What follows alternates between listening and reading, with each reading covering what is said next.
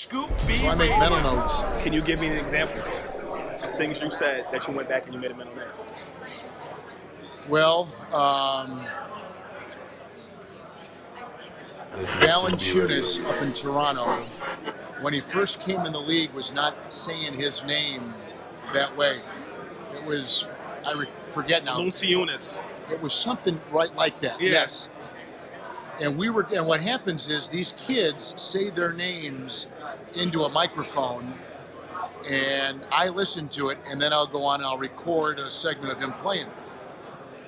My recollection is, is that he did not say it Valanciunas when he first came in the league. He said it like you said it. Right. So I said it that way. And then when he had come out after the team had gained some prominence and he was playing well and they were making the playoffs, all of a sudden now it was Valanciunas. Mm-hmm. And I, I, I made a mental note of that because I heard him, my son playing the old version. And I said, oh, hey, oh, I can't hear that. So I made a point that when we came back, we re-recorded everything that Valanciunas, that I had ever recorded Valanciunas did. All I said, I'm going to do it every one of them over again. It's not fair to the kid. Now, granted, he changed his name, which we can't help, but I wanted, so we went back and changed everything with Valanciunas. Scoop B Radio.